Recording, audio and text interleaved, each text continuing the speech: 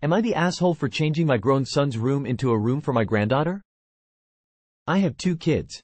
Kathy, 29F, and Michael, 25M. Kathy lives with me, pays a portion of the bills and has no plans on moving out anytime soon. We have our own business that we operate out of our home. It's easier for her to live here and it's great because I have help with the bills. Whereas, Michael lives about an hour away for work and has his own apartment. For a while, I kept Michael's room as is. He's shared several times he has no plans of moving back home as his job is in the city he moved to. Kathy had a very close friend who has a two-year-old daughter, Zoe. Friend named Kathy her daughter's godmother as well as guardian should she pass. Unfortunately, that happened six months ago. Kathy's friend was a single mom, so Kathy was granted custody. At first, Zoe was sharing a room with Kathy as she had extreme separation anxiety. However, she's now ready for her own room. As our home is a three-bedroom. We don't have anywhere else to put her. When I told Michael what we were doing, I said I'd get a pull-out for the living room or I could get a daybed for my room when he visits overnight for holidays. I know rooming with your mom isn't fun, but I want to give him options. He's mad that I gave the room to Zoe. He says that was his room. I said I understand but he doesn't live with me. Kathy does and pays bills. She's even paying more now because she feels she's using more resources with Zoe living with us. I'd feel different if Kathy and Zoe were moving out soon but they're not. At this point, Kathy plans to adopt Zoe. I want to help her. My mom helped me raise my kids, her mom helped her, it's in our culture to have a multi-generational household. Moving isn't an option. I can make the space more private for Michael when he spends the night, a divider in the living room. But as he usually only sleeps her two or three times a year, it just doesn't feel practical. I said if Michael ever needed to move home permanently, we'd make something work. And I'd also help him with his child if he was in this situation. He says he doesn't want kids. I said that's fine but this is the situation at this moment. He feels Kathy should move out. I said I'm not kicking her out just so he can have a room the few times he spends the night. Am I the asshole? Not the asshole. You don't need to maintain a shrine to your grown son. Your needs changed, and there is a valid reason to change his old room into a room for Zoe. He lives an hour away, so how often does he rely stay there? Not the asshole. Your son feels entitled to a place where he doesn't live. He moved out. He lives elsewhere. He pays taxes elsewhere. He pays rent, mortgage elsewhere. He doesn't live there, he doesn't need a room. That being said, if he sleeps there 2-3x a year, can't Zoe spend the night in Kathy's room, or Kathy and Zoe's, for those few nights, so that Michael can have a little privacy? Not the asshole. I could see if your son was 18 or 19, in college and planning on coming home for the summers. But at 25 and established in his own home, apartment, he has no need for his childhood bedroom. Sorry, but you don't need your son's permission to make changes in your home. When he comes and visits, he can sleep on the couch or get his own hotel room. You don't need to feel bad at all. Your son is the asshole. Ah, I loved that you called her your granddaughter. Not the asshole at all and please don't feel like you are. Let me tell you something. At one point in my life, I was Michael. My mom took in my three cousins when I went away to college. They needed my room to accommodate our growing family. I had my own apartment, and I rarely visited back home because of my studies. Michael is acting really immature. I'm sorry but I as an 18Y, oh.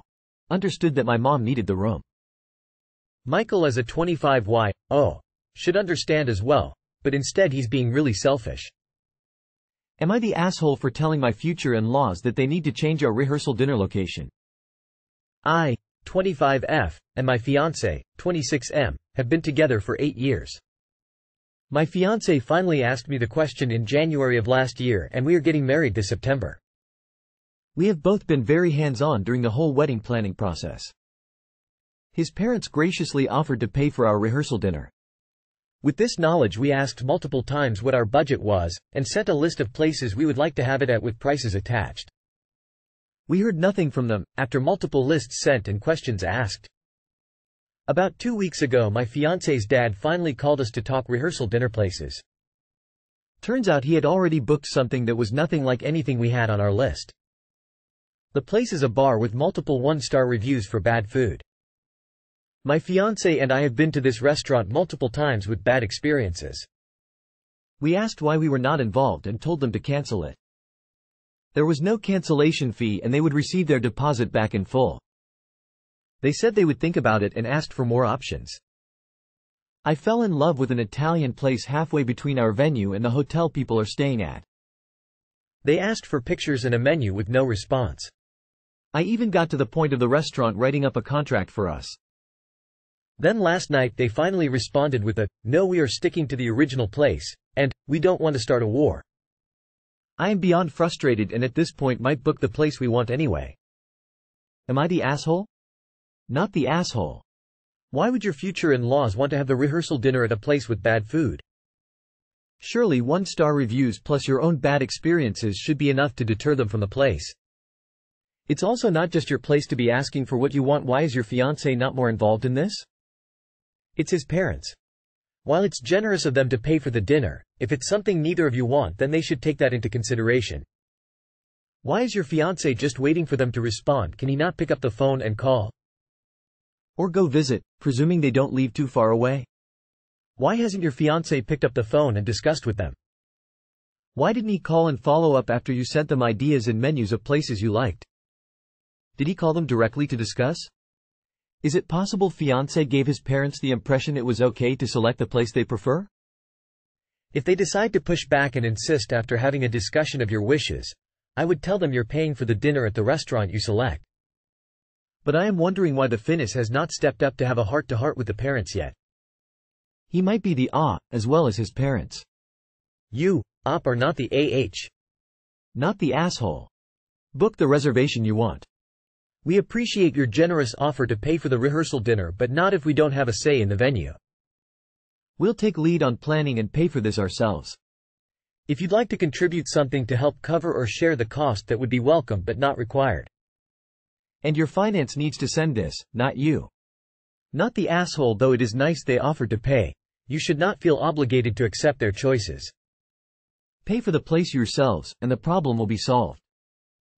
If they love that place so much, perhaps offer them lunch there before the wedding for a close family planning session, and treat them to a one-star dining experience. Your fiancé needs to respond with something like, in that case, we thank you for your offer to host the rehearsal dinner, but we are going to have to decline. We will handle the arrangements and pay for it ourselves. Please understand that this is no way, a war, we simply do not like this restaurant. We have eaten there more than once and have never had a good experience. As such, it is an unacceptable choice for us. ETA forgot to add. Not the asshole no one needs to be subjected to bad food.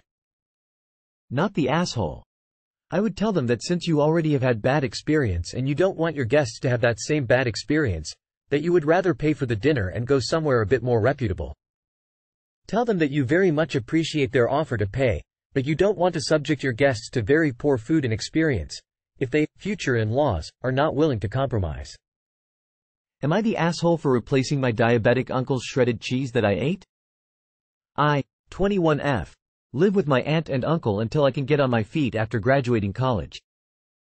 I've lived with them since high school after both my parents passed away. My uncle is diabetic and needs to measure out his meals. He can't eat many things so he has his own foods that only he eats. Otherwise, my aunt and I share the same food in the fridge and she always gets new things to try. Last night I was making mac and cheese, it was really just random pasta with some different cheeses in the fridge, and grabbed some shredded cheese to use. Halfway through adding it, my aunt says that's my uncle's shredded cheese that he started using for meal prep. I didn't finish the bag but I took enough where it would probably not add up to enough ounces for his meals. About three pinches. We don't have the best relationship. He has anger issues and attributes it to work. I don't have a job and rely on them for groceries, but I do help around the house and babysit my younger niece. I got the idea to replenish the shredded cheese to avoid any arguments about someone touching his food. I searched around in my room for any spare change or dollars I could find and went to the grocery store to buy another bag of cheese. When I got back, he was home and asked where I went. I told him I accidentally used some of his cheese and I bought an extra bag. He then starts yelling at me for eating his cheese, That he only has limited things he can eat. Why did I eat the one thing he has to flavor his meals? And that I'm trying to play martyr buying more cheese when I have nothing to spend. I tell him I'm just making up for my mistake and he says to stop playing the hero and that I shouldn't have done anything or told him anything. He says if I could buy my own cheese then I should buy my own food instead of eating theirs. My aunt assured me he didn't mean what he said but that I should have just waited for her to replace the cheese instead of calling attention to yourself. She said I was acting dramatic by spending what I had left on his cheese instead of just admitting to him that I took the cheese first. I don't understand what I did wrong. Not the asshole for replacing the cheese, but you need to find a new living arrangement. It sounds like you may have worn out your welcome with your uncle while your aunt is eager for you to stay.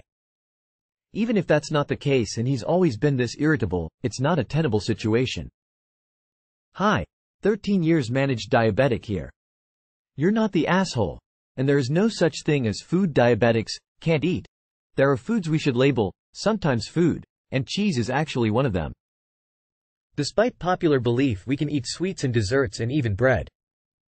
We just need to make sure we balance it out with protein and fiber and vitamin-rich foods too. In short, your uncle is full of shit, probably because of the cheese, and needs to lay off the drama. Stressing out is bad for his blood sugar. Cooking tip. Shredded cheese actually isn't the best choice for mac and cheese.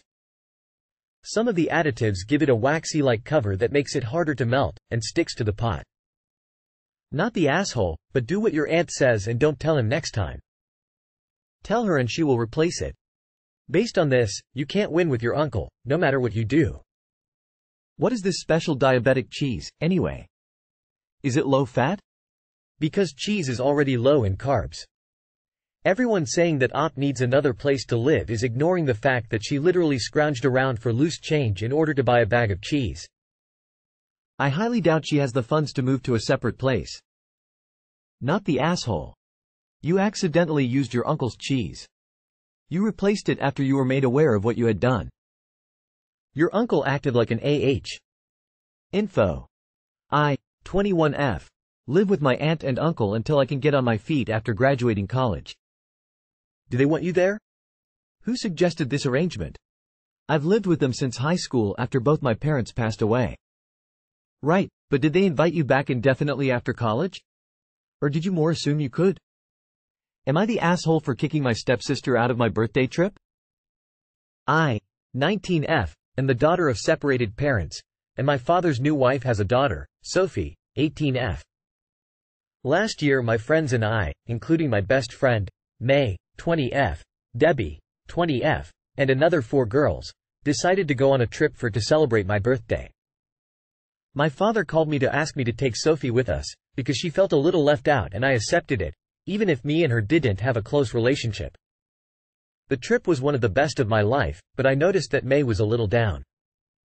I asked what was wrong and she said she was fine, just a little tired, so I believed her. When we returned home, we promised that the following year we would repeat the trip if possible. But this year, when I started preparing everything, Debbie came to talk to me and showed me prints from a group chat that I was not part, which had the exact date of the time we were on the trip, last year, where Sophie was talking bad about May and calling her names, like, whale, fatbit, and other cruel things. For context, May is a fat woman. I spoke to May and she confirmed that during the trip, Sophie was completely unpleasant to her, always commenting on her body and her personality, for no apparent reason. But she didn't say anything, so as not to ruin the vibe of the trip party, and to not create tension between me and my father's side of the family, and after the trip, she ended up forgetting about completely. I went to my father's house, and told Sophie that I knew everything, and she turned pale when she saw the prints I had. I basically kicked her out of the trip and told her I didn't want to see her again. Now, the other girls in the group, apart from Debbie and May, are saying that I was an asshole for kicking Sophie out for something so insignificant, and that if Sophie doesn't go, neither will they. Am I an asshole for kicking her out? Not the asshole. Go with May and Debbie and have a great time. Leave the mean girls behind now they've shown their true colors. Not the asshole it's not insignificant and the girls who think like that good riddance I think. You're now seeing people's values and you get to decide if that's what you want around you. Op, for the record, May is a keeper and a true friend. She put up with a lot from Sophie so as not to ruin your trip. She is not a drama queen and neither is Debbie. These are friends you can trust and depend on. Sophie sounds like someone who puts others down so she can feel superior. It is a low self-esteem thing. Kinda sad if you think about it. You could almost feel sorry for her if she wasn't being so hurtful. Not the asshole. Go with May and Debbie and let those girls take Sophie on a trip if they like her so much. They're not the kind of friends the three of you need. Not the asshole. Good on you for taking a stand for May. Sophie and the other Oz who disinvited themselves can kick rocks. Not the asshole and if your friends back out to support treating others like that, you don't want them as friends. That's disgusting, childish behavior and if Sophie can't treat people decently, she can spend her time with people who don't mind being called names.